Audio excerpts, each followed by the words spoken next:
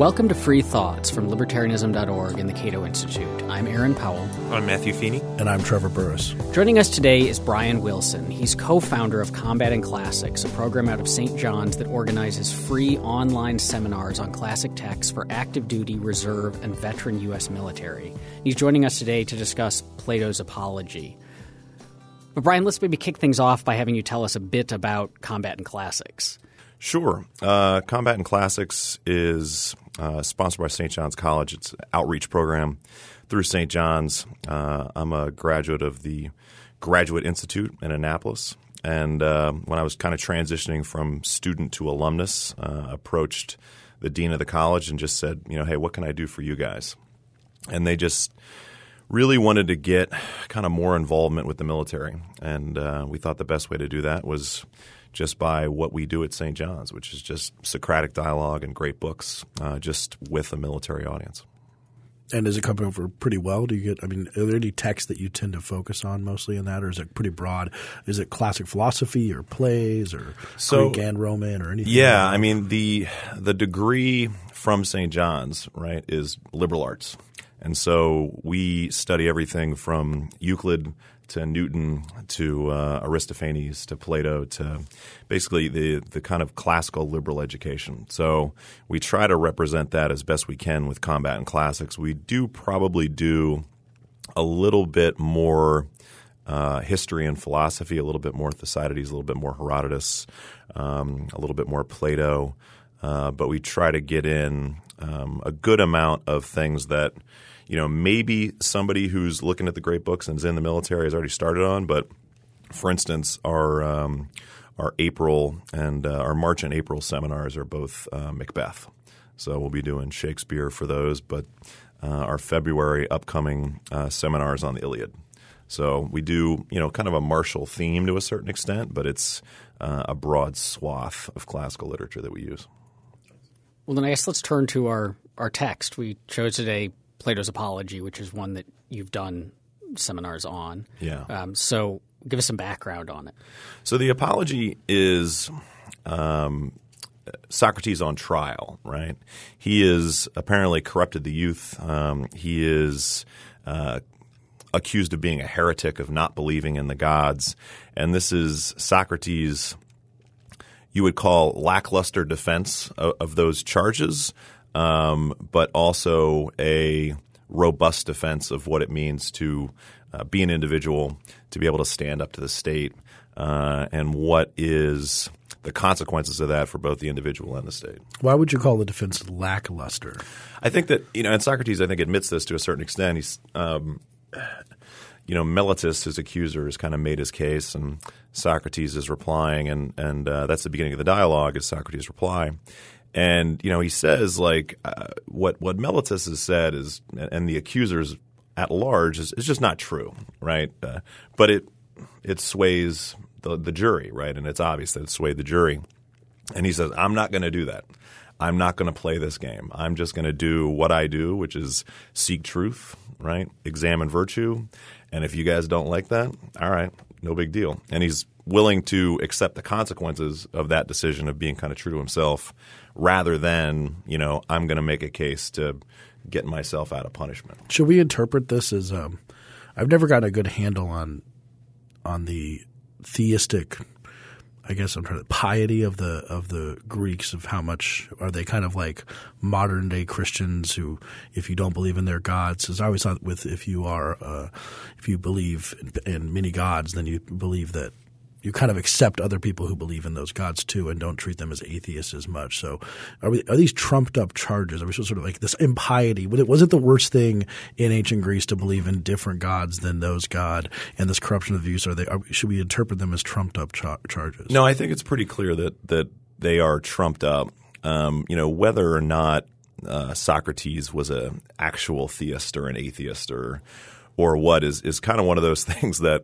uh, and I know that Cato has talked about this in the past as far as like, you know, how much of a deist was Thomas Jefferson and George Washington? And so it's those kind of things where it's like, you know, only the people that uh, only only you know, you know how much you buy into whatever religious creed uh, you might or might not espouse. And so there were certain certainly questions that Socrates raised that could make people uncomfortable. Um, but there's no statement that I can think of in the entire kind of Platonic canon where he comes out and says, "I don't believe any of this stuff," right? But it's it's the questioning that um, certainly causes um, causes this accusation to to get carried forward and certainly swayed a decent amount of the jury. I think it's. I mean, it's pretty clear he's not. He's not a straight up atheist. Yeah. Like he very obviously he defends himself along these lines by saying, "Look, I talk all the time and tell people all the time about Demigods. demigods and demons and other things that assume the Does he mean like Hercules? gods." Is that what he is like? Hercules a demigod? Yeah, I mean, he, he talks about the demigods. He talks about the offspring of, um, you know, gods and men, and um, it, it, I think you can. It, it's very much a, uh, a Rorschach test, I think, for the reader. Right? If you want to read that as if you're an atheist reader approaching the text, then you can go, "Oh, he's messing with these guys." But if you're a theist reader, then you can go, "No, he's trying to fit it into." this uh, theist doctrine that's you know part of the community, and he's you know just trying to play by those rules. And Well, may or may not believe them. I mean, it's certainly the case. Uh, I mean, at least towards the end. I don't want to jump ahead too much, but that he postulates um, after death there are a couple of possibilities, and one is that it's just an eternal kind of sleep, and the other is, hey, I got to hang out with Homer and uh, all these other guys. uh, but he, he seems, and, and so at the beginning, there's this uh, question uh, when when he, he speaks to the oracle, and it seems like hard to believe. Uh, someone not taking that seriously with um, without some sort of theistic belief. If you really don't believe that the oracle was the voice of um, of a god, then his uh, walking around Athens trying to see if he could find someone wiser than him seems a little pointless. Uh, one final question I want to uh, ask before we may open up a bag of worms here, but before we get fully into the text is: Is this a history? I I mean, your guess is as good as mine on that. I I think that um, you know, I, I always liked uh, Christopher Hitchens' kind of description of um, Socrates versus Jesus. You know, it's like it's not important if if you're looking at Socrates whether or not he existed at all, right? You you can you can take his teachings and you can take whatever you want out of that, right? And it's not important if he existed or didn't exist or if this is what he said or didn't say. You But know, it's a little so- different because in this one, I think one of two, maybe of Plato's dialogues, Plato is supposed to be there. Mm-hmm. So maybe he was taking notes. So that it kind of brings that specter a little but I bit think more. I think this is complicated by so we only we only have two accounts of Socrates' defense. We have Plato's and then we have no, right. Xenophon, Xenophon, who was another follower of Socrates. Um, but then at the same time, there's this. At after Socrates' death, it was kind of a thing for writers to write their own versions of his defense. It was like just fan fiction, um, and which is so, also probably kind of like a Rorschach test. They all wrote it in the way that they saw. Yes, Socrates. and so it's. I mean, it's, so it's a little bit difficult. Like we have we have almost no texts. What we do know about Socrates largely comes from Plato and Xenophon, and Plato very clearly drifts away from Soc- presenting anything that even is remotely, you know, historical or documentary um, in his later dialogues, where we get to just these are Plato's ideas and Socrates is a mouthpiece for them. There's the argument made that I think seems relatively persuasive to me that of the two apologies that we have, Plato's and Xenophon's, like Xenophon, well, a smart guy, was not a genius on the level of Plato, um, and so it's it's less so. Plato's genius probably takes over a bit more in his presentation, um, but they're I mean they're similar enough. Although it's the Xenophon's Socrates is not his speech is not the great work of literature that we read for today, um, and is is quite a bit more straightforward. But the skeleton is relatively the same, so we could probably say, I mean, there's some level of accuracy there, but we don't know.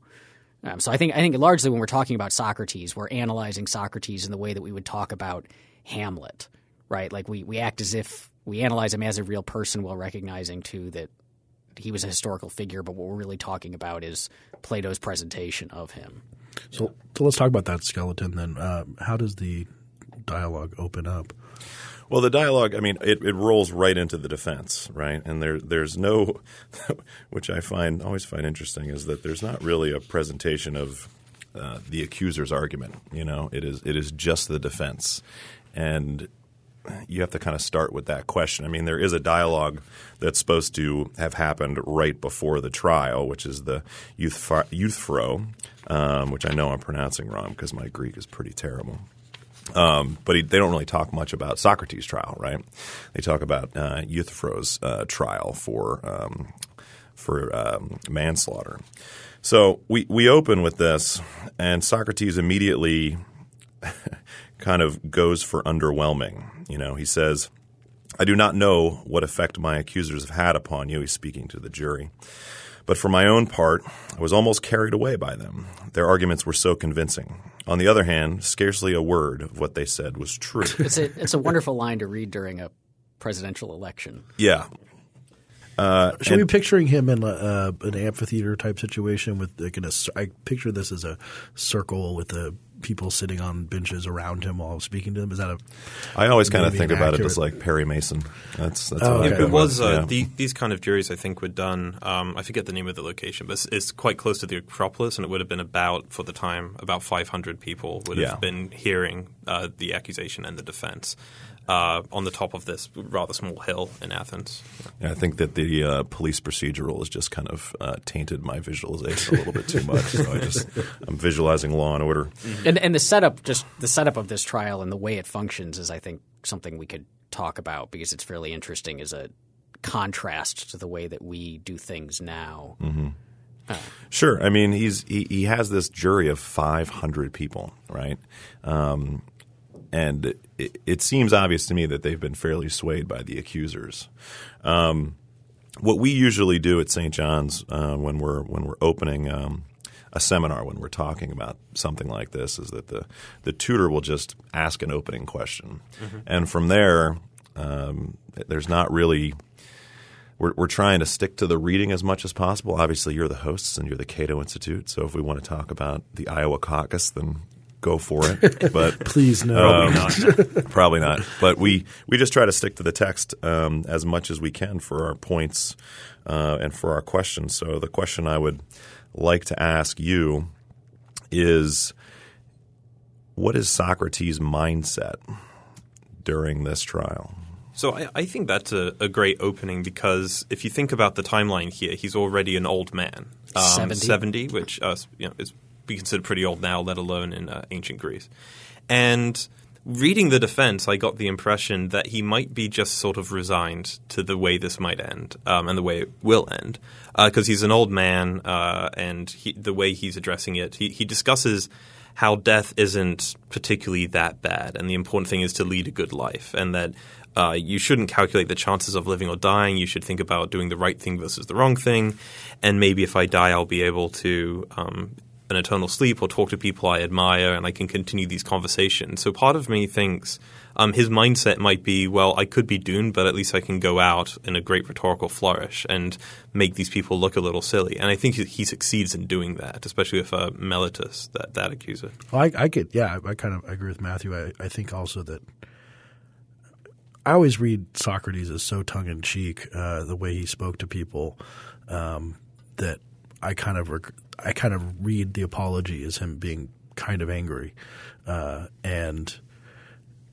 his righteousness against the accusing apparatus. This is why I think it is a libertarian-ish te- or text or something we can learn, just political philosophy about a person standing against a, a power who has the righteous position, uh, which he discusses later on. And if you do think you have the righteous position, and if, I mean, that's the way Socrates is, does everything.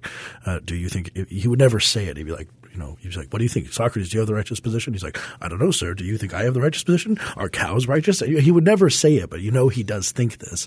Um, mm-hmm. And now he's going to stand in front of the, the, the polis, uh, which is a much more um, community oriented type of concept than the current state, but and then tell them basically like a pox on your house, on both your houses or all, of you, and that's so I, I see anger. yeah, it. that was my reading more so than just resignation was the righteousness coming in because he's so he tells us this story of the oracle at Delphi saying that he's the wisest man alive and that he's basically built a career around trying to assess that because he like he doesn't think of himself as wise um, but which of course I think he really does, but he just likes to think he's not. Um, and it's because he recognizes his lack of wisdom that the oracle thinks he's the most wise. But to kind of test this, he goes around asking people who are presumed to be wise and testing their wisdom and always finding it lacking.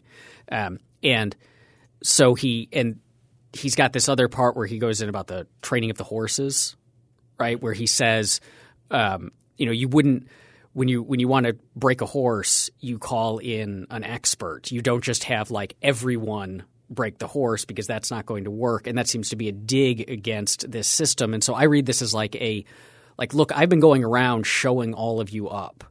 And now you've done this dumb thing where you're putting me on trial. And so it's not just that I'm kind of resigned to my fate and I don't really think that living over 70 would be all that awesome anyway and death isn't all isn't something to worry about, but also that you know, I'm going to prove like my last last act will be proving that I was right all along by getting by showing the complete lack of wisdom of all of you and that seems to be because he's constantly provoking them. This isn't just like a lackluster defense. This is like come and get me, right? And so even when he's given like every opportunity and we get that in the the follow up dialogue, the Crito, where he's given the opportunity after he's been convicted to run away, and he just doesn't take it. Like at every step, he seems to want them to kill him. You know, even when I mean they, they've declared him guilty, and he offers up these basically absurd alternative sentences that he knows they're going to reject. Um, he just he seems angry, and he seems like he wants to demonstrate the foolishness of the people of Athens. Yeah, I mean, he, he I, I, like the idea of anger just because you know, right at 28, um, he kind of has a external internal dialogue and says, but perhaps someone will say, Do you feel no compunction, Socrates, in having followed a line of action which puts you in danger of the death penalty? I might fairly reply to him, You are mistaken, my friend, if you think that a man who is worth anything ought to spend his time weighing up the prospects of life and death. And he gives the example of Achilles, right? Which we have this you know whole book of Homer about, and the first word of that is menace, right? Rage, and it's sing muse of the rage of Achilles, and so he you know he kind of brings it off, and, and and the whole presentation. I mean, you can obviously if you're directing this, you can you know get a Mickey Rourke in there, or you can you know kind of get somebody a little bit more relaxed, but you know the the, the rage is there, right? I mean, it, it it's right in the dialogue when he brings up Achilles. But what's what's interesting to me is that you know he, he says right there. Um, you know the the idea of even questioning that, right? The idea of you know thinking about that is, but that's what Achilles did for you know half the book, and so I feel like there's kind of a uh, maybe a duality there of he's saying it's wrong, but he might also be implying that there's a certain bit of human nature in wanting to spare yourself. Do do any of you feel like Socrates tries at any point to kind of at least give himself some breathing room in the dialogue to maybe you know convince the jury I'm not as big a threat as you think I am.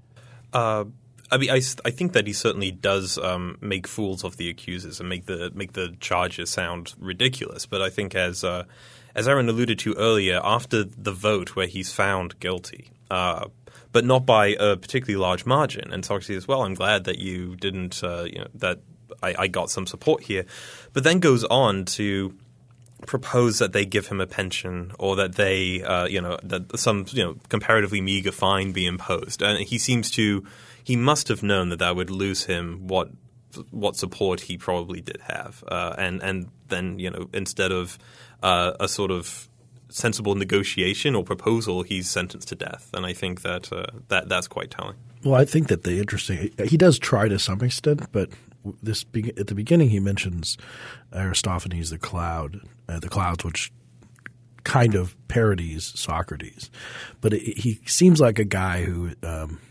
believes that popular opinion is of one thing about him.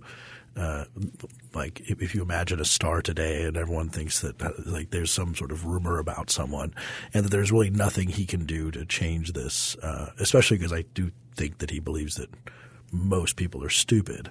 Uh, and so he says, well, I get up there and I talk to a bunch of stupid people who have uh, an idea about me because of this opinion that's in the clouds and other sort of just rumors about me. And I'm not going to convince them at all, but I think he does try, or at least tries to make a case with a few people who might be willing to listen to him to some degree. Well, that was, I mean, teasing out this whether, like, because he defends himself, but whether it's an attempt to soften it, as you asked, or just to not, I guess, give in to what he sees as false charges because he, you know, he could have just said, okay, you're right, and then throw himself on the mercy of the court. Um, or not really mounted much of a defense if he didn't care one way or another, um, or but he but it seems like his defense is I guess what I had a difficult time figuring out is how much of the defense was like him trying to like I don't want to be punished and so I'm going to try to defend myself versus I totally don't care what happens to me and in fact would like to be punished because it would prove me right. But I can't stand by and because he he talks about how much what ultimately matters is not wealth it's not prestige it's the kind of person you are it's your principles. Um, and so he's not going to he's going to defend his honor and his principles against these false charges, but it doesn't matter what happens to him ultimately. Can we compare this to? I mean, it has been, of course, but can we compare this to Jesus in front of Pontius Pilate, in the sense of Jesus offering a defense against a crowd with a huge bias against him and saying nothing in response to their claims of, of his his own type of of disobedience of of the uh, Pharisees. I think it's very similar, except for Jesus was a little bit more taciturn. Yeah, so I haven't actually uh, heard much about that comparison, but I think what they both have in common is that that to a contemporary 21st century reader in Washington D.C., it's very, the thing that Socrates and Jesus do seem to have in common is that they're being accused of what's effectively thought crime. In the sense, like you are, have the wrong kind of ideas, and uh, you're you're being you're being you're being too persuasive to people and all this other sort of stuff. But in our um, in our post rationalization because they kind of both start movements or these are these texts are at least written for the purpose of starting a movement. Um, and both of these are just like, well, I'm going to die, and my death's going to be a lesson. I mean, it's a it's a really big lesson for Jesus, but but uh, it's they, they just sort of resign themselves to the fate, and so we see a trial, which again has a righteousness of standing against the power uh, that that is arrayed against you. Yeah, and it is uh, the case that Socrates does say, I think, at the end something like, "Look, you're going to think yourself a little silly," um, and I think he's been proven right. Well, there's a Pharisaic quality to the people who are accusing him. I mean, uh, and, and, and, that's what I, these, these three accusers, who I think are just some sort of they represent classes. Yeah. If I, if I read that correctly. Yeah. I, I mean, I, I, the the way that I kind of tie this in more is I feel like that Plato. I mean, obviously, this is an important part of the canon, right? Of the Platonic canon, an important part of Socrates. I don't know if you need it. You know, like you you need the Pontius Pilate story to have a you know serious impact on Christianity. I don't know if you need the apology to make um, you know Socrates understood but it is important. But I, I would compare it more to something like Kafka's The Trial, um, you know, something like Orwell, something like you know Eileen Chang's Naked Earth, where it's you're you're against this, you're against the state, right? And that and, and Socrates lays it out, right? He says very specifically uh, around 31c. Um, he, he basically says he says you know I don't mess with the state because I know what's going to happen right? The last part of um, 31c the true champion of justice if he intends to survive even for a short time must necessarily confine himself to private life and leave politics alone right? So and, and he's tried to go out of his way to do this but the state doesn't care, right? The state, just by questioning any aspect of its doctrine, is going to get insulted, right? Um, I like how he keeps bringing up how he makes no money. It kind of there's a lot of things that in I'm a, as a lawyer, there's a lot of things in the world where the state can't get you until you're making money off of it. they don't have they don't have any jurisdiction over you until you're making money off of it. So he's like, hey, I'm just doing this, you know, my own private life. Private's private. Yeah. Know? Well, and, and the thing is that this is the only thing that the only two things that they could threaten, right, was first saying you can't do this anymore, right? um, and it was important for him to be able to do it, and in Athens. And then the only other thing was his life, right? And so if he if he wants to take that kind of binary look and say, you know, if this or that, it does show how necessary he sees exploring, you know, what is the virtuous life as at least critical for him. And I think that you know that example obviously shines through um, in a very robust way in what he's talking about. Uh, you know, something that we talk about because uh, we've done this seminar um, a couple times with the military audience is uh, right around line 29. Um, and he says, The truth of the matter is this, gentlemen, and this is right after the Achilles comparison. The truth of the matter is this, gentlemen. Where a man has once taken up his stand, either because it seems best to him or in obedience to his orders, there I believe he is bound to remain and face the danger, taking no account of death or anything else before dishonor. This being so, it would be shocking. It would be a shocking inconsistency on my part, gentlemen, if when the officers whom you chose to command me assigned me my position at Potidaea and, Amph- and Amphipolis and Delium, I remained at my post like anyone else and faced death. And yet afterwards, when God appointed me, as I supposed and believed, the duty of leading the philosophic life, examining myself and others, I were then through fear of death or any other danger to desert my post. And so, well, that's like super fiery, uppy for like libertarians. Um, you know, you have to wonder how effective that is. You know, how effective is that analogy to you as readers? How effective potentially is that for a military reader? Um, I mean, it certainly puts, like, think a lot of military readers kind of on the horns of a dilemma. Is you know there is this idea of death before dishonor. Um, you know what? Why is Socrates so set on you know either not teaching philosophy um, as more dishonorable than death?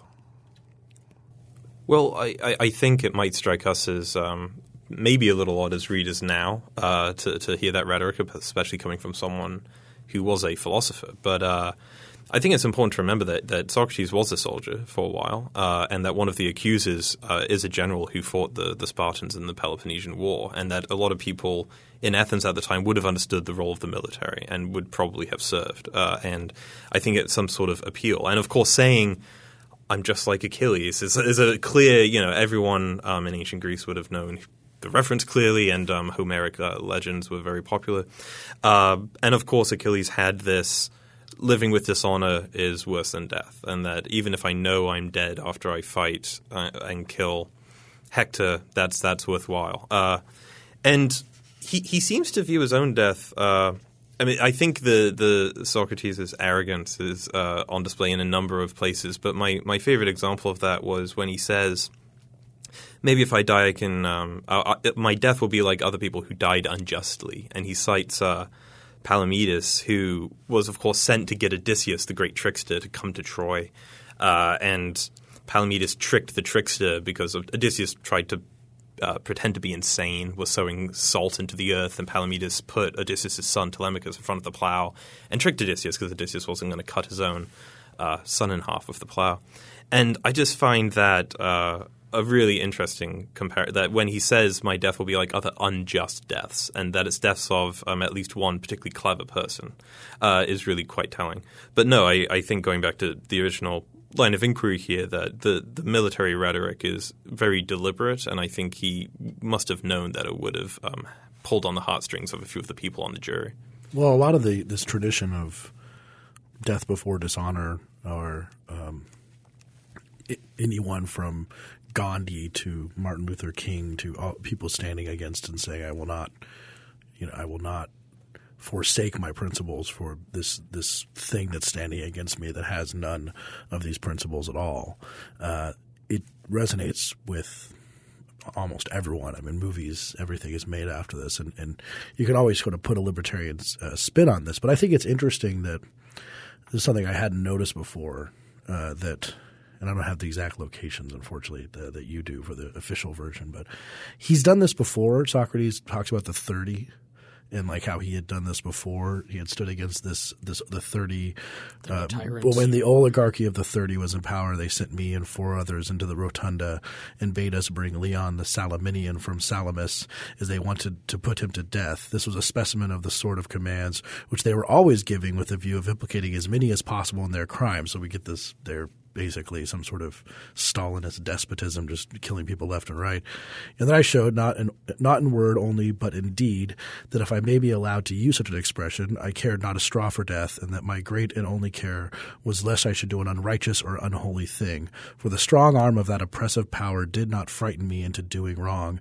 And when we came out of the rotunda, the other four went to Salamis and fetched Leon, but I went quietly home, for which I might have lost my life had not the power of the thirty shortly afterwards come to an end end, and many will witness my word. So it's kind of interesting that at some point, and I'm not sure historically how long ago that was, he had, he had made a habit of this death before unrighteousness kind of thing.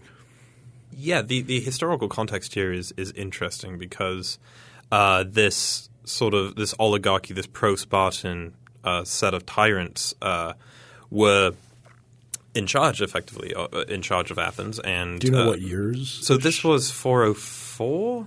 BC. So just five years before. Fi- yeah, it was very recent. It was very recent, and and I think the. Um, apologies to the historians if that's wrong, uh, but it was it was recent, uh, and I think there there are certainly people who claim that part of the uh, accusation against Socrates was that he stuck around in Athens and certainly knew um, the leader of these tyrants and was and that was not perceived as uh, particularly. He was actually, good. I mean, he was a, he was like a mentor of of uh, of Critias, Critias who that's was the right, yeah. leader of the tyrants. I mean, so that's So he's like a Vichy. so to like some a- extent, like like, because we reading this um, thousands of years later, we look, you know, this looks very bad for the people of Athens, right? But I think that we can we can defend them a bit um, in the sense that you know this the historical situation you had Athens' democracy it was taken over by these tyrants. Things were very bad.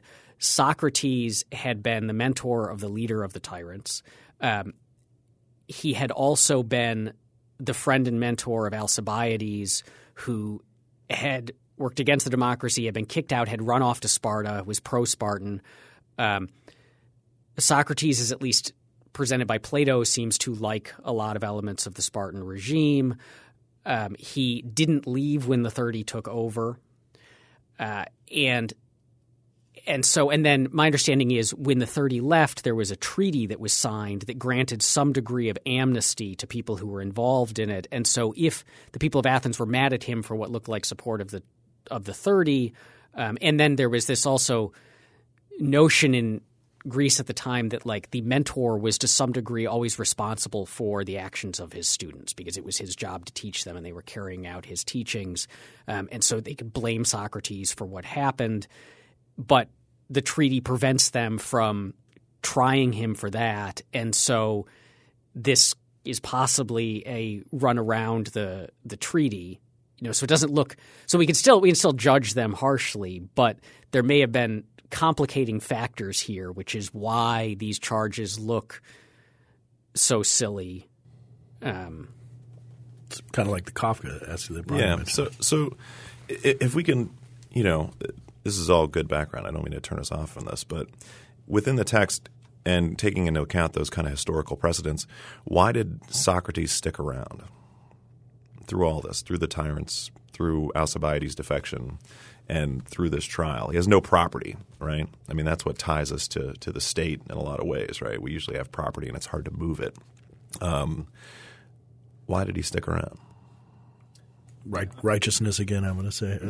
Yeah, uh, I I don't know. Uh, I I think uh, you know he he's an old man. He might just not be up for you know this political uncertainty and go, going into uh, you know, fleeing Athens. Uh, although yeah, what, whatever his reasons, I think it would be mistaken to think that he was some sort of supporter of the this oligarchy that that he was pro this tyranny. Uh, and I, I think it would be a little unfair. but he um, does seem know- anti-democracy. Sure, but the, but the, these are these can be mutually exclusive, right? You can be anti-democracy and also anti the tyranny at the time. Um, so yeah, that's a good, I think, uh, historical question. I, I don't know. Um, I don't know if anyone knows. I mean, he gives Uh, reasons. This is on the next text, so I won't. But he, I mean, he does give some reasons for sticking around in the Crito, which is when his followers show up while he's in jail waiting execution and say, "Look, we can get you out of here. It'll be easy. We just bribe the guards. Kind of everyone's expecting you to do It's it. like El Let's just Chapo, leave." yeah. Um, and yes, and um, and he says no, and he presents these reasons. And every intern semester, I give a talk to the interns about the Crito and about obligations to obey the law, and say that Socrates' arguments are all terrible.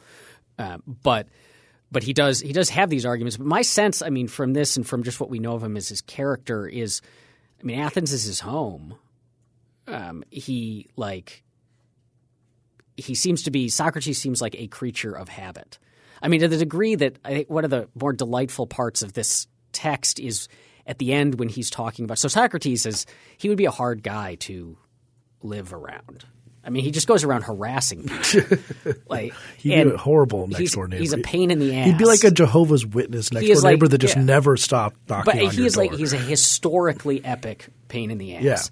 Yeah. And and then he doesn't when he's talking about death at the end, and he's like, death is nothing to fear because on the one hand it might be oblivion, which he Like then a says really is like, like which is a really good night's sleep.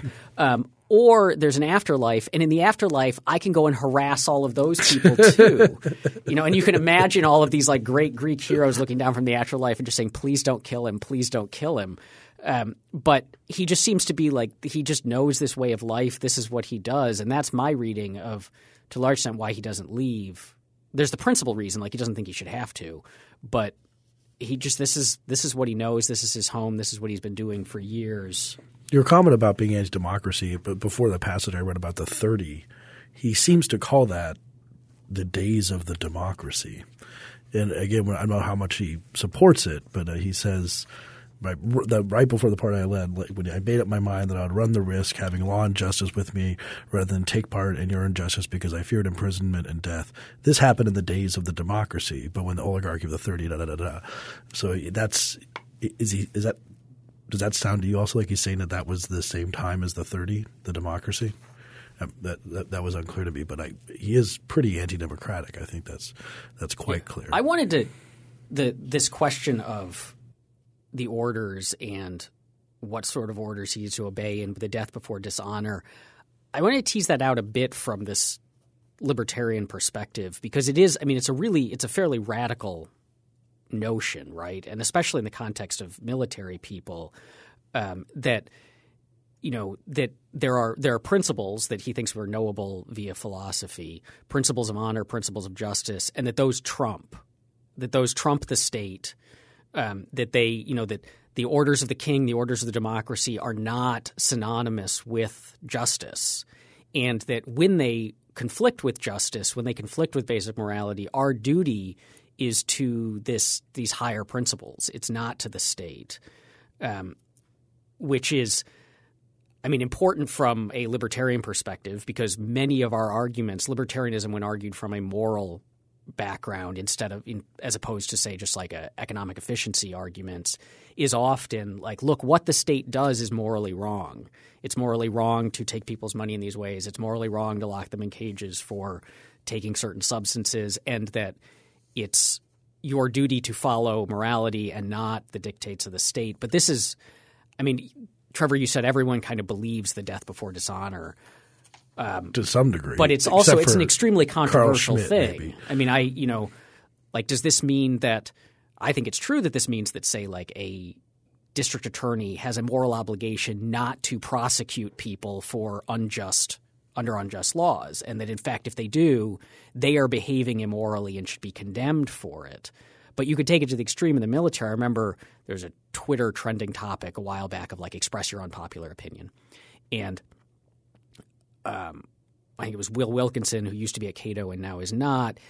His thing was soldiers who kill in unjust wars are murderers, which is an extremely controversial and radical claim to make, and certainly is not something that like you would have higher ups in the military saying is the case, right? I think there's a lot more gray area than you might think. I mean, something that's kind of shocking to folks that haven't spent a lot of time, um, you know, with military folks or been in the military themselves. And you know, it's something that I was kind of surprised at. You know, I went through the Naval Academy um, and then spent 13 years in the Marine Corps, and you know, there there's almost a dual pronged education system there. There is you would be shocked at the amount of time that we spent in situations like this sitting around and talking about what's the right thing to do, you know, and how much it is reinforced that you know you have to make unpopular decisions. You have to make decisions that are contrary to what somebody told you to do because it's the right thing.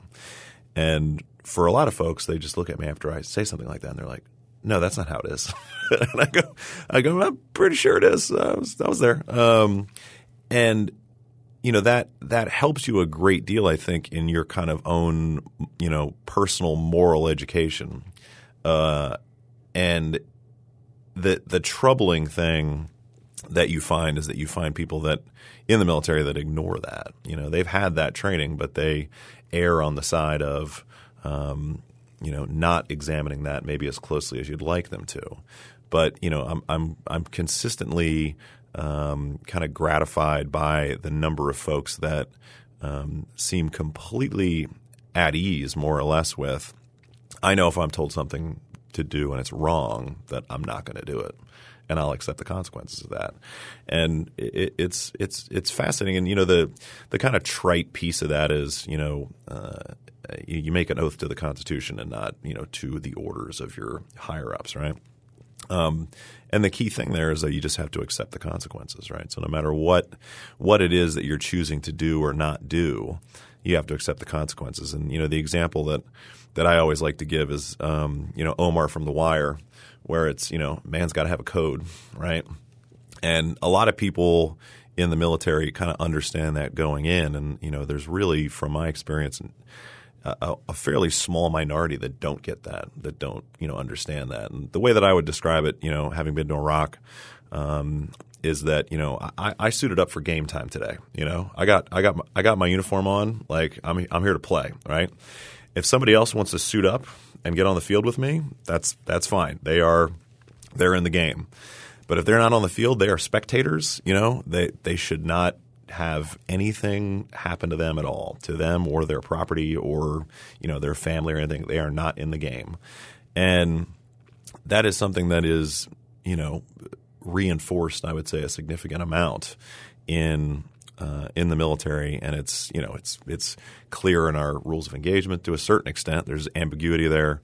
Um, there's certainly folks that buck against that, but um, you know, with with my experience in kind of the counterinsurgency realm, it's it's how you I won't say win, uh, but it's how you don't lose. So how do how do the military in, in your program Combat Classics like? Uh, you probably talk about this in regards mm-hmm. to apology. Yeah. Like, could is this something we can learn lessons from in our jobs as military about what what happens when you're in a Nuremberg type situation or something like this? Where you, yeah, you I mean, I, I, really like you know the people that that show up for these. Um, are already kind of questioning a lot of things and they're already wondering, you know, what else is out there as far as education. I mean, you know, another reason that, you know, I started this program was because I was enrolled in um, Command and Staff College, uh, which is you know a requisite for field grade officers in the Marine Corps, and I did that after St. John's, and I just did not have a very good time. You know, it was it was it was not something that was edifying and enlightening. You know, when when I'm you know in Annapolis or, or in these online seminars, there are these you know moments of tremendous joy in in reading these kind of limitless works and you know just talking with other people and you know having them help me learn in the Socratic fashion you know what what these what this means you know is it logical? Does it make sense? And does it represent you know human nature? And if if if not where are the flaws? And picking those things apart is something I think that a lot of military audience want to do to a greater degree because too often it is um, you know, it, it, it is a Nuremberg example. You know, it is it is a, it is you know Lieutenant Calley and My Lai. It, those are the examples that that are drawn out, and so I think that the the our type of audience wants something like you know Socrates' Apology, where it's like it's not you know it's not 100% clear because you know was the state right in doing this is another question. You know do they have the power to do this? Is it within their purview to do something like this? Was Socrates a threat to the state and does the state have a moral obligation to act against those kind of threats? And you know, well, I'd love any of your feedback on any of those questions because that's what I do. Well, I, that was that was part of my question too, uh, and I thought you guys would have more these uh, accusers because I wanted to try and get a grip on what the state is in in this because it is not totally analogous to what we would call you know post Weberian, you know, post Westphalian Weberian definition of a state. But these accusers, if they're real, if they were even real people, which is a, a, probably a silly question, but they seem to just represent classes of Athenian society. And he calls all of them idiots, basically. I mean, as, as Aaron mentioned, like Socrates went around and was trying to figure out if anyone was wise. And he said, all these people are really smart, but they're all not wise at all. Well, that uh, I just that I so they're just take this opportunity in. to.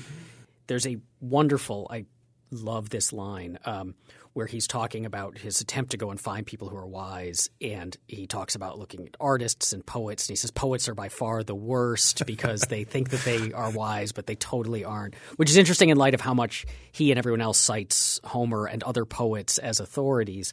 But he says um, he's talking about why they might overestimate their wisdom. And so he says, because he, someone who is, say, a very good poet or a very good artist, because he excelled in the practice of his art, he thought he was very wise in other most important matters, and this mistake of theirs obscured the wisdom that they really possessed.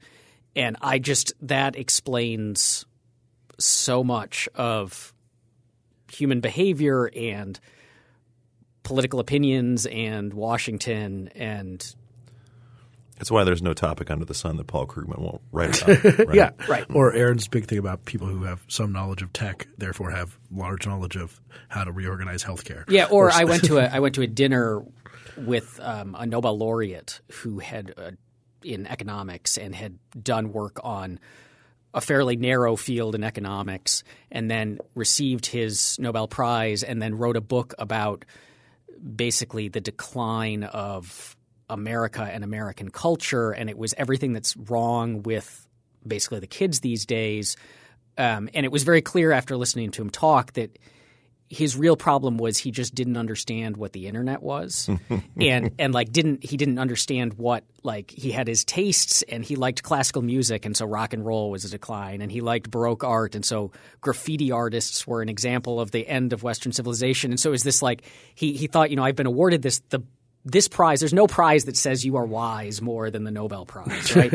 and but it was for this narrow thing, and he was very good in that line of his art. But he thought that represented wisdom everywhere else, and this seems to be a very cut. Paul Krugman being another Nobel laureate who thinks he knows everything about everything. So I, I would, I mean, on that, going off that, um, with these critics who represent these different classes of Athenian society, or at least that's the way I read it, who are all called idiots uh, by Socrates and I would say by Plato. And it, it, I mean, at this point in Athenian society, it's a kind of a democracy, and so there's also there's a huge condemnation of the way that society and the state is currently made up and the kind of idiots who run it. Which again, I have to go back to it, but again, is very similar to Jesus in the trial because a huge part of the gospel writer's intention was to lambaste the Jews who you know quote unquote killed Jesus and the Pharisees and the Sadducees these different groups that were just bad and so like there's a subtext there in the in in the uh, Gospels and here we see we can read Plato's condemnation of everything about it and then we know from the Republic what he really thinks a, a good society looks like and it's not very similar to what the one that killed Socrates. Yeah, I mean I think that for me this and it might be self-congratulatory, right? But you know as libertarians we say I don't know how to live your life you know, I don't know what you should do with your property. I just know that you shouldn't hurt me, uh, and you probably shouldn't hurt other people too. You know, but a lot of that's none of my business. So you know, we want to pat ourselves on the back and say, to a certain extent, like, you know, we've we've accomplished some kind of Socratic ideal. I don't know how well we hew to that too much because I think that our instincts are like, you know, most humans' instincts of wanting to get involved in things that we potentially shouldn't. Um, but you know, I, I I and I, it also causes me having you know because we, we we think we kind of figured it out, right? We think we got oh it's property, right? It's property. It's it's it's, libertarians? Yeah, it's Yeah. it's it's you know voluntary interaction. It's um, you know we've we've got these principles. And so I think it actually, while we can pat ourselves on the back to a certain degree and say, you know, we have the Socratic ideal of I don't know what's best for you, there's still a long way to go in maybe I'm not sure that this is actually right. You know, when we you know read kind of the foundational authors, if we're reading Mises or Hay- Mises or Hayek or something like that, even in you know technical economic terms, we go, I don't know if this is right. You know, and so I think that you know, from the libertarian audience, they can get a ton from these kind of seminars, from these kind of readings, uh, and the military audience as well, because the military audience, I think, is also fairly sure how certain things are. But when you tr- when you actually peel away those layers and you say, well, define your terms, you know, and Socrates doesn't really do that either, you know, but I think that that's probably, at least for me, that's kind of how I found libertarianism is because, you know, I thought I was part of Team Red, you know, because that's basically what it is Team Red, Team Blue. And I thought I was part of Team Red, and I was like, okay, let me read about this conservative Republican stuff. And I went, oh, this doesn't make any sense. and, and, you know, you have to dig through those principles and you have to question and question and question. And when you think you've figured out the right answer, you're, you're probably a Meletus and you're probably wrong. Yeah, I, I think uh, what, what I especially like about the text uh, and, and what you just said reminded me of it is that uh, what Socrates does is he's asking his accusers to answer questions truthfully, and they do, and they look dumb. Is this sort of amazing, uh, and I think that that's why these are, are such profound texts that you read these accusers uh, digging themselves into these logical holes, and Socrates is left with the truth on his side. So I'm you- imagining like uh, going to a White House press conference and being like, "You must answer truthfully now," and Right, yeah. making them look like idiots. Right, but you can. It's sort of a great image to think of these these hundreds of people staring down on on Socrates, asking, you know, I just want you to, you know, just lay it out for people to hear exactly what you think I've done and why you don't like my response. And I think uh, the power of that. Is, I mean, I, I think it's the reason why it, it remains so poignant is that uh, it's not some sort of uh, uh, crime novel where there have been trumped up evidence or whatever. It's these people really believe that what Socrates has admits that he's doing is wrong, and think and uh, that that's uh, that's what I think makes it really great reading. And I think that's what it. Your point about even these principles that we as libertarians believe are correct and hold to very strongly, we should have this degree of why and might I be wrong and might I change my mind, which is a point that we make a lot on free thoughts. Um, makes this this notion. I mean, Socrates when he presents like this is look the choices between you know sticking to justice or doing what I'm told, and we want to we want to read the apology as look he's Socrates is standing up for justice and principle as opposed to the Athenians who are just angry at him or want to kill him off, but. But these are arguments about principle that's going on here. I mean, the Athenians think that they have principle on their side, that there is such a thing as impiety, and he has been impious, and being pious is really important at a basic principle level, and that democracy matters, and that respecting your elders matters, and that teaching the youth to disrespect their elders or doubt the wise is harmful to society, and that these are important principles. And so they disagree with Socrates on the core principles of what really matters, and that that's what the argument is about. Um, and that that's a very important thing for libertarians to think about, for everyone to think about. That you're you're closely that when there's political disagreement, say that it's often at the level of it can happen at the level of principle. That it's not that you are principled and your opponents aren't, right? It's that they hold different views and they may be wrong, but before we condemn them, we should make an attempt to really dig into them, to really understand them, to really learn from them. And that's a tricky thing, and that's part of the reason why you know I wanted to ask about the mindset. You know, because it's it's always staggering for me to you know read any Plato and not and not put myself in Socrates' situation and just you know say I just want to punch this guy. You know, like it, it's it's so it just seems so demanding to both, you know, having done it, I'm sure we've all done something, tried to do some type of Socratic dialogue. And whether you're talking with, you know, another libertarian who's just like a little bit off from what you think is more important, or whether you're talking to a socialist or a Republican or a Democrat, and, you know, you feel that that anger begin to swell at some point. You know, I don't it, either anger or just you know you start laughing inside at least.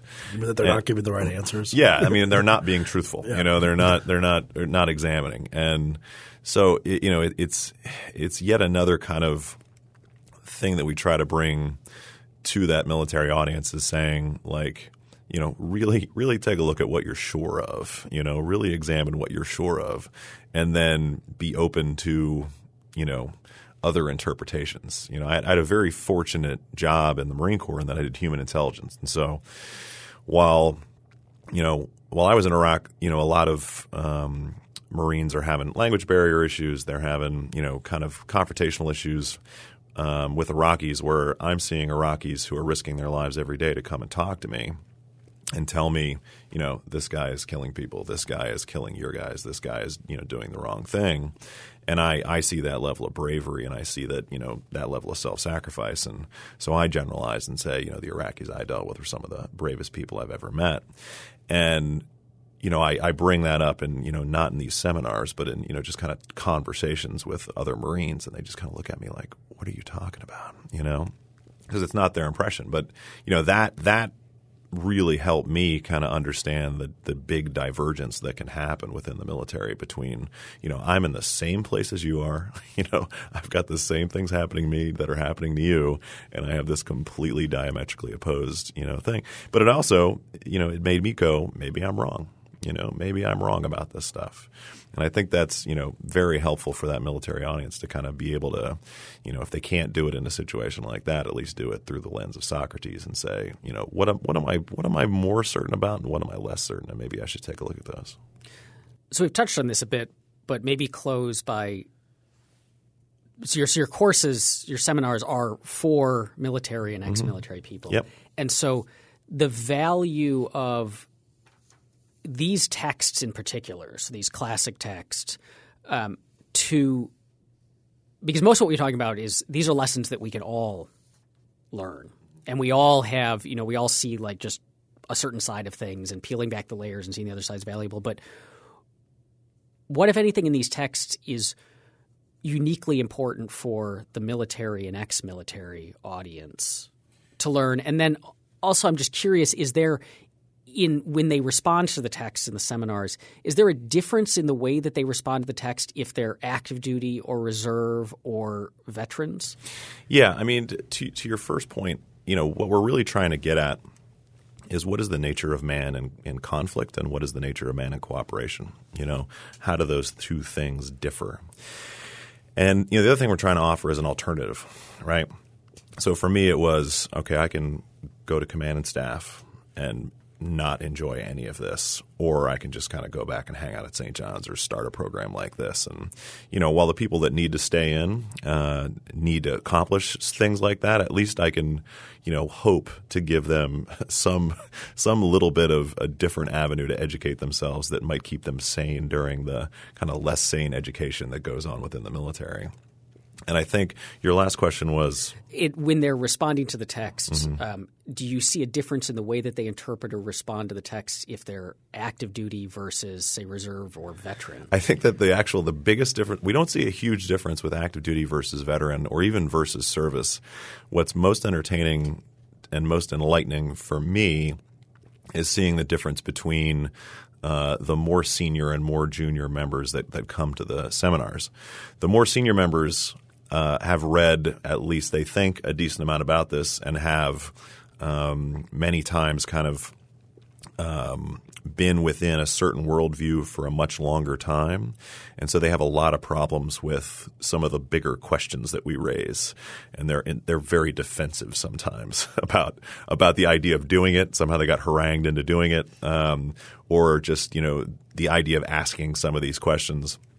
And the junior folks are much more open to really examining, really critiquing, um, you know, what what the reading means to them and also how it impacts you know their military career. And so I mean most of the people that stick with the program are really you know company grade field grade type officers. So these are folks that are really in their like late twenties, early thirties. Um, you know, haven't made that step of saying, okay, I'm going to stay in for 20 years.